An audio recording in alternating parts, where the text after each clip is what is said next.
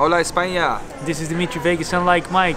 We can't wait to see you guys on the 15th of July for Barcelona Beach Festival.